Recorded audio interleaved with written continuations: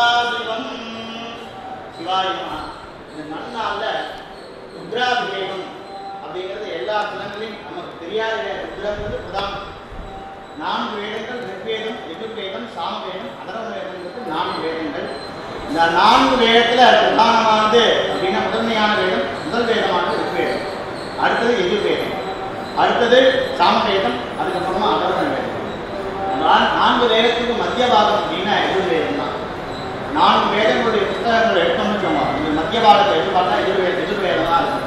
இந்த எதிர்வேதத்தை மத்திய பாகம் எதுன்னா எட்டாவது எட்டு காண்டங்கள் எதிர்வேதம் எட்டு காண்டங்களுக்கு மத்தியமாக இருக்கு. ஆறாவது காண்டம். இந்த ஆறாவது காண்டத்தில் மத்தியமாக இருக்கக்கூடியது என்ன?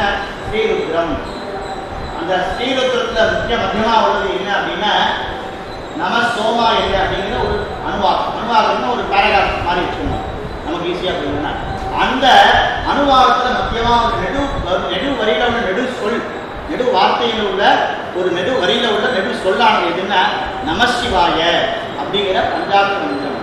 ஏன் இந்த வேதத்துக்கு பெருமை இவ்வளோ மகிமை அப்படின்னா மற்ற மந்திரங்கள் எல்லாம் பார்த்தீங்கன்னா மற்ற வேதங்கள் வெட்டுகள்ல அல்லது வேத சூக்தாதிகள் எல்லாம் பார்த்தீங்கன்னா எதுவுமே அது தன்னைத்தானே ஜபம் பண்ணாது.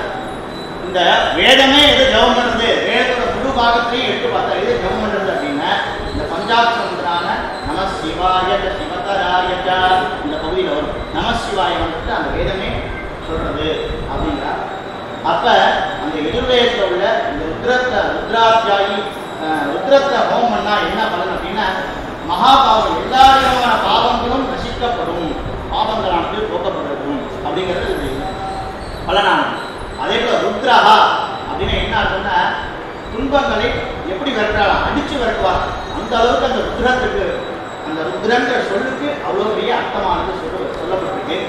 அந்த ருத்ரத்தில் பதினோரு விதமான முறை ஜெபம் பண்ண போறோம். பதினோரு ஆச்சாரியர்கள் பங்கு அப்போ நூற்றி இருபத்தி ஒரு ஆவர்த்தி ஜெபமானது நடக்கும் அப்போ அதற்குரிய திரவியங்கள் என்னென்ன பதினோரு விதமான அபிஷேக திரவியங்கள் இந்த பக்கம் முதல்ல வச்சிருப்பான்.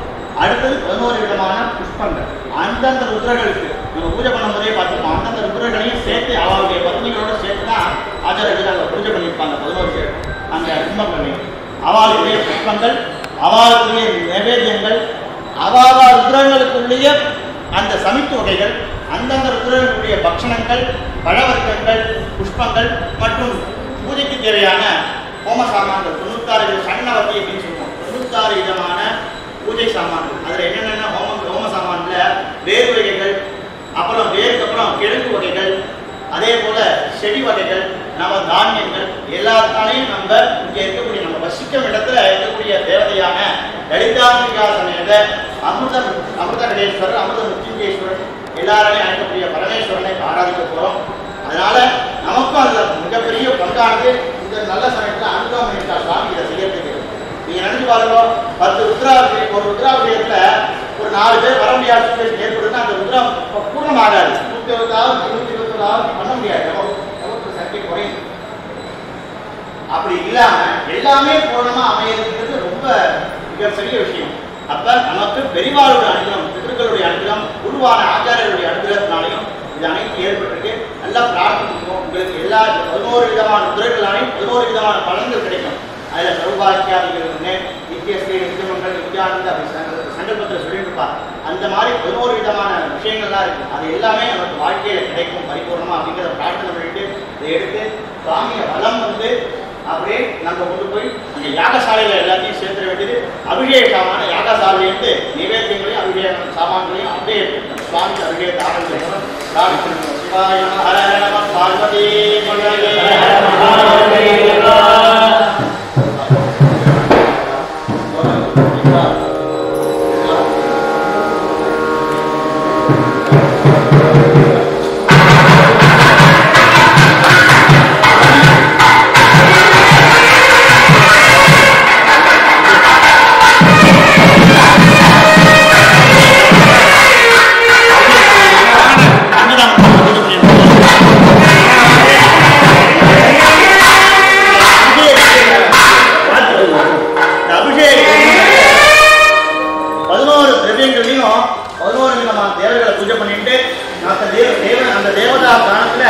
அவர்களுக்கெல்லாம் ஆராதனை பண்ணி ஏன்னா வெறும் அபிஷேக சாமானா உபயோகம் மட்டும் இல்ல. அதற்கும் உள்ள மந்திரங்களால இங்க உள்ள படி பஞ்சகவியத்துக்கு எப்படி அந்த பஞ்ச பெரும சடங்க தேவைன்னு ஈசானம் கத்தூரம் அபவரம் தத்துவஜாதம் ராமதேவன் அந்த அஞ்சு முகங்களையும் பூஜை பண்ணோமோ அதே போல இதுல பஞ்ச பிரம்மங்களான அந்த பூஜைகளும் சடங்க தேவதைகளான விதையாத மந்திரங்களையும் ஆராதனை பண்ணி அதுக்கப்புறமா எடுத்து கொடுப்போம். அதனாலதான் எப்போதும் வந்து சாதாரணமா அவங்க எடுத்து கொடுத்துருவாங்க இது ருத்ராபிஷேகம்னால அதுக்குரிய விதிகள் எல்லாமே மாறப்பட்டிருக்கு. நம்ம அதப்படி எல்லாமே அமைஞ்சிருக்குங்கிறனால அதை பண்ணிடுவோம் அப்படிங்கிறது ஆச்சாரிய உங்களுடைய ஆஸ்தான குருவான யோகேஷோட அதான் பிரியம். அதனால.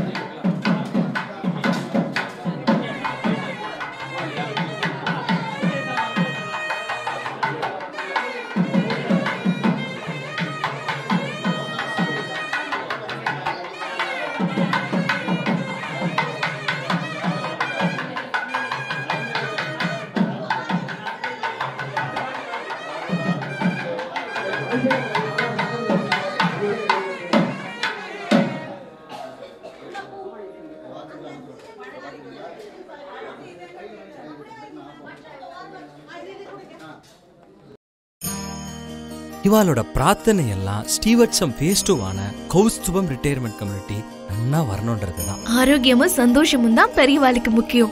அத கௌஸ்துபம் ரிட்டையர்மெண்ட் கம்யூனிட்டில நிச்சயமா நீங்க உணரலாம். நாயன்மார்கள் நால்வரால் பாடப்பட்ட ஸ்தலம் இது. பட்டினத்தார் வாழ்ந்த ஊர். இப்படி பல சிறப்பு அம்சங்களை கொண்டதுதான் நம்ம திருவிடைமருதூர் ஸ்ரீ மகாலிங்க சுவாமி திருக்கோவில். திருவாரூர் தேரழகு திருவிடை மருதூர் திரு அழகுன்னு சொல்லுவா. அந்த திருவிடைமருதூர் ஸ்ரீ மகாலிங்க சுவாமி திருக்கோவில் பக்கத்துல எட்நூறு மீட்டர்ல அமைஞ்சதுதான் நம்ம கௌஸ்துபம் ரிட்டையர்மெண்ட் ட்ரெடிஷனல் கம்யூனிட்டி